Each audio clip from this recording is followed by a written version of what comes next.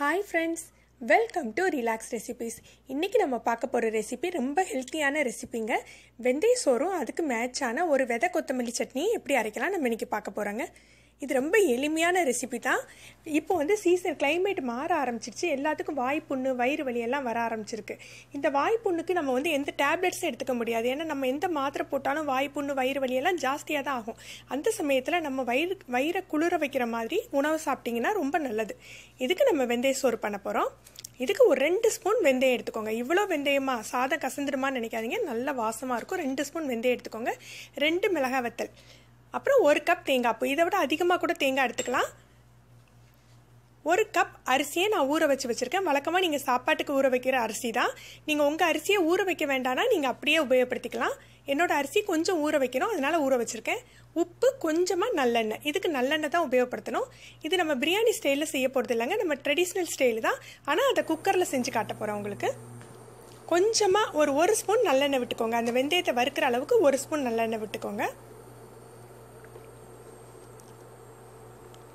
இந்த சாதம் நல்ல வாசமாக இருக்கும். ஆனால் என்ன நம்ம குழம்பெல்லாம் வச்சு சாப்பிட முடியாது இல்லையா? அதுக்காக அதுக்கு மேட்சாக ஒரு துவையல் எப்படி அரைக்கலாம் அப்படின்னு கற்றுக் கொடுத்துட்றேன். இப்போ நம்மளுடைய வெந்தயத்தை போட்டுக்கோங்க.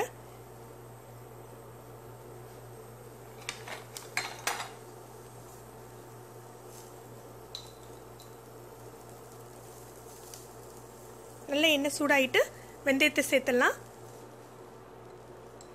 இதுக்கு நிறைய எண்ணெய் விடணும் தேவையில்லைங்க.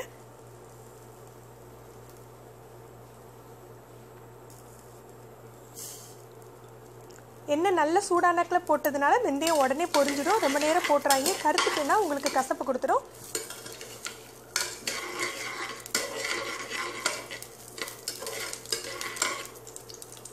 ஒரு பத்து செகண்ட் வதக்கினா போதும். நம்ம அடுத்த பொருட்களை சேர்த்துடலாம். ரெண்டு மிளகாத்தல் கிள்ளி போட்டுக்கோங்க. மிளகாத்தல் வந்து வாசத்துக்கு தான் நம்ம காரத்துக்காக போடலை. காரத்துக்கு நீங்கள் துவையல் தான் சேர்த்துக்க போகிறீங்க உங்களுக்கு விருப்பம் இருந்தால் கொஞ்சம் கருவேப்பிலை கூட போட்டுக்கலாம். நான் கருவேப்பிலை போடலை. வெறும் வெந்தயமும் மிளகாத்தூள் மட்டும் போடுறேன். ஏன்னா வெந்தய வாசமே நல்லாயிருக்கும் இதோட தேங்காய் துருவல் போட்டு வதக்கிக்கோங்க. நல்ல கலர் மாறுற அளவுக்குலாம் வதக்க வேண்டியது இல்லைங்க லேசாக வாசம் வர்ற அளவுக்கு வதக்கினா போதும். கலரெல்லாம் மாற வேண்டாம். லேசாக வாசம் வந்தாலே போதும்.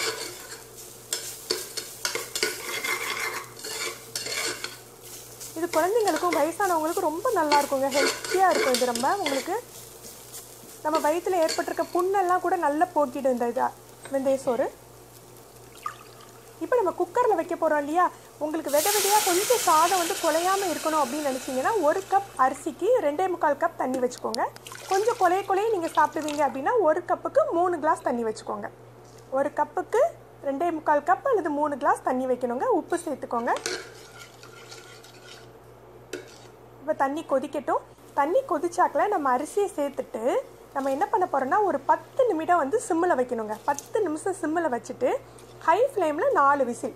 கரெக்டாக வெந்துடுங்க. உங்களுக்கு பத்து நிமிஷம் சிம்மில் வச்சுக்கோங்க. ஹை ஃப்ளேமில் நாலு விசில் வைங்க. ஒருவேளை உங்கள் அரிசி சீக்கிரம் குக் ஆகிடும் நீங்கள் நினச்சிங்கன்னா ஒரு ரெண்டு விசில் கம்மியாகவே எடுத்துக்கோங்க. இதை நம்ம சாதம் பாத்திரத்துலேயும் வடிக்க வடிக்காமல் அப்படியே பொங்கி இறக்கலாம். இது வடிச்சிங்கன்னா உங்களுக்கு சத்தெல்லாம் போயிடும். நீங்கள் பொங்கல் மாதிரி பொங்கி இறக்கலாம் குக்கரில் வச்சிங்கன்னா உங்களுக்கு ஈஸியாக இருக்கும். அதனால நான் குக்கரில் வைக்க சொல்கிறேன் அதை வேகட்டும். நம்ம அதுக்குள்ளே துவையலுக்கு பார்த்துடலாம் ஒரு கப் விதை கொத்தமல்லி எடுத்துக்கோங்க. அதே போல் ஒரு கப் தேங்காய் துருவல் நாலு காஞ்ச மிளகா கொஞ்சம் புளி உப்பு. உங்களுக்கு காரத்துக்கு தேவையான அளவு காஞ்ச மிளகா எடுத்துக்கோங்க. இது எதையுமே வறுக்கக்கூடாதுங்க. வறுக்காம தான் அரைச்சிக்கிடணும்.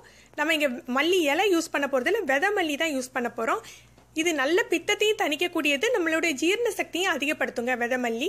இதை எப்படி அரைக்கணும்னா நீங்கள் தண்ணி விட்டு அரைச்சிங்கன்னா உங்களால் நல்லா அரைக்க முடியாது. நல்ல பவுடராக திரிச்சிட்டு அதுக்கப்புறம் கொஞ்சம் கொஞ்சமாக தண்ணி தெளிச்சு அரைங்க. அப்படின்னா தான் மிக்சியில் உங்களுக்கு துவையல் அரைக்க முடியுங்க. இப்போ நம்மளுடைய துவையல் ரெடி ஆயிட்டு இப்போ நம்ம சாதமும் ரெடி ஆயிட்டு நம்ம திறந்து பார்த்துடலாம் பத்து நிமிஷம் சிம்மில் போட்டு நாலு விசில் ஹையில் வச்சுருக்கேங்க நான்.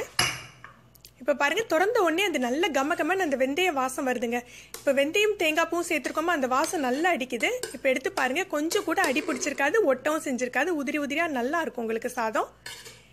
இந்த சாதத்தை எப்படி சாப்பிடணும்னா இந்த சாதம் அந்த விதமல்லி துவையல் போட்டு பிணைஞ்சு அதில் நல்லெண்ணெய் விட்டு சாப்பிட்டீங்கன்னா நல்ல வயிறு புண்ணுக்கு ரொம்ப நல்லதுங்க. இதுக்கு வேறு சைடிஷே தேவையில்லை. காரம் விரும்பாதவங்க இந்த சாதத்தை அப்படியே சாப்பிட்லாம்.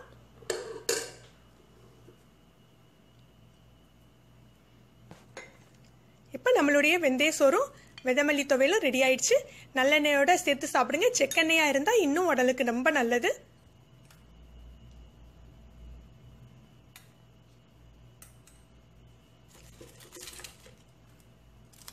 இந்த வீடியோ உங்களுக்கு பிடிச்சிருந்தா லைக் பண்ணுங்க ஷேர் பண்ணுங்க.